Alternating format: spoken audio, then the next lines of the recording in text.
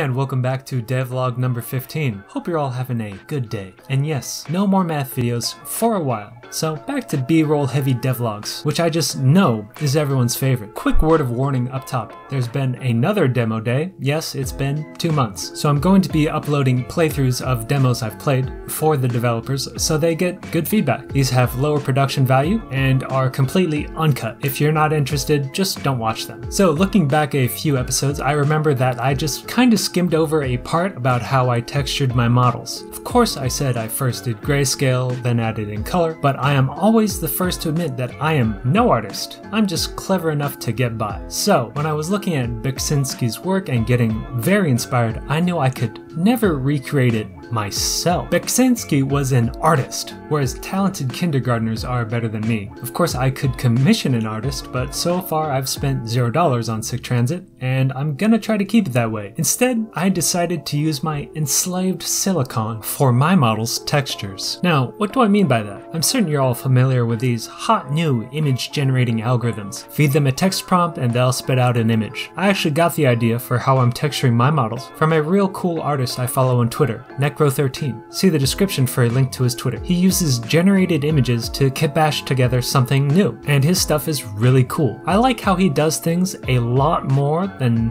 what I've seen some people do, just typing in prompts and claiming the generated image as their own novel art. As I said earlier, I'm no artist, but I do have unqualified opinions about what is and is not art. So I decided to do something similar. I use generated images as stencils that I used to paint my textures in Blender. Is this legal? Am I violating copyright? Who's to say? Big brand legal scholars are speculating on the topic, but until the courts settle it, this is an exciting new frontier in law. And besides, it seems like all of Beksinski's works are copyrighted in Poland, and since the US and Poland have an extradition treaty, yours truly could win an all expenses paid trip to the beautiful and historically rich country of Poland. I've wanted to go to Poland for years now, so this is a win win for me.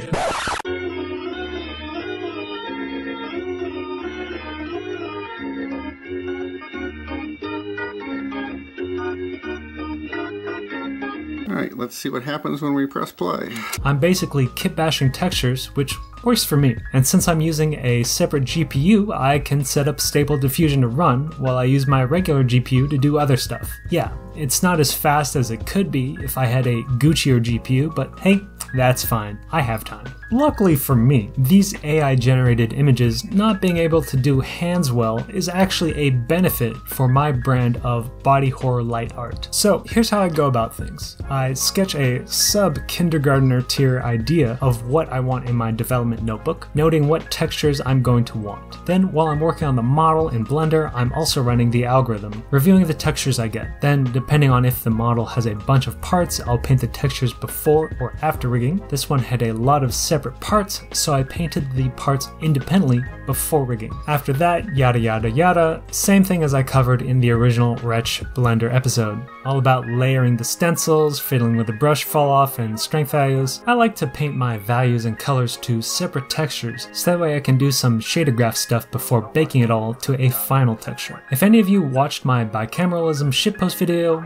you know I have ambivalent ideas about machine learning and AI systems, but you know, I gotta do what I gotta So, if any of you are interested in 3D art but don't want to do texture work and don't want to use boring flat textures either, you can do what I did and use your enslaved silicon to not improve as an artist. And you know, you don't need to break the bank to do so. 4 gigs is perfectly fine. And yeah, I accidentally forgot to mark the textures with fake users, so I had to redo them. Oops it happens. And well, check out this new model. It will be one of the NPCs that the player will deliver messages between. There will be less than a dozen of them in total, but they're all going to be unique. I'm also going to have the sphere on top be a special screen space texture, so it's going to be a different material than the rest of the model so I didn't do it yet. Anyway, that's it for this devlog. As I said at the start of the episode, there's been another demo day. You should check it out. I haven't played anything yet, but some games have already caught my eye, and just looking at what's been submitted, it seems, as always, there's a great variety 63 entries in total.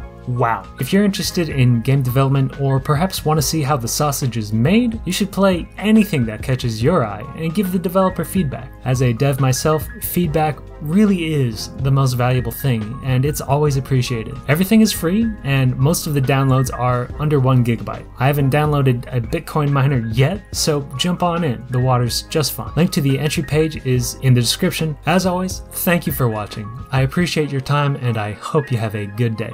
If you liked the video, please give it a like. And if you want to follow along with my development videos, please subscribe. If you're interested in game dev, I have a series of videos covering important math topics that are practical for game development. They're in their own separate playlist, so check that out. I'm also on Twitter. I've been tweeting, yes, really. You can follow me at dev underscore natsu, and I know you're expecting baking, but first, I noticed that this video is set to release on Veterans Day. I have a number of friends who served in the military, and even my younger cousin, um, he's going college on the ROTC program now, so thank you all for your service. And with that, on to baking. So, you know me, I have to keep sourdough in rotation, and we're back to sourdough. And as you can see, it this one turned out really good. I think, um, you know, I made one recently, so this is I'm speaking from the future. I made one recently, and I think it's just you know it's wintertime. Things are just getting a little too cold. I didn't give enough time to rise. Whereas looking back at this one, this one, these two loaves look great. Um, you know, even you, you can see on this one, I got a nice ear, good color, just really good. You know, I've been doing this single cut more frequently, and it's it's been working out better than uh, how I used to do things. But you know, let's we look at the cross section, and you know, you can see it's it's classic. It's it's good looking. It's attractive. Nice nice bubbles. Again, I think this one was about um, 75% hydration, just, you know, nice, comfortable, easy to work with, around 75. I always, you know, I had a bit of water, just, you know, whatever. And here's the picture of the second loaf. This one, I believe, came out better. And, it, you know, I just, I like taking picture of it in the Dutch oven with the parchment paper. It looks, it looks cozy. Like, damn, this is a cozy loaf and I got a nice, I got a really good ear on this one, uh, and that's why I gave it away as a gift. So this is this is the second one, the one that I was giving away as a gift um, to my friend. Uh, since it's the more attractive one, I gave it away, of course, because you know that's how I am. But even yeah, as you can see on this picture, it's it's nice looking. Oh, you can see my kombucha in the background there. yeah, I booch.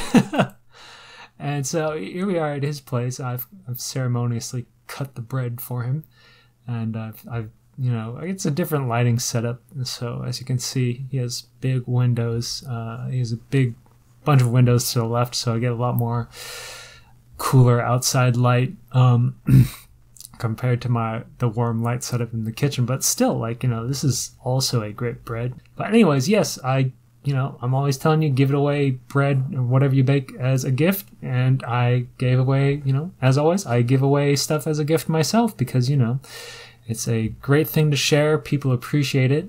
And, you know, once you learn how to do it, it's pretty easy to do and you can make some amazing food and people will just appreciate it, you know? But, anyways, that's it for this episode. Uh, the yeast in the air is free. Go out there and bake. It's delicious, it's good for you, and it makes a great gift. See you next time.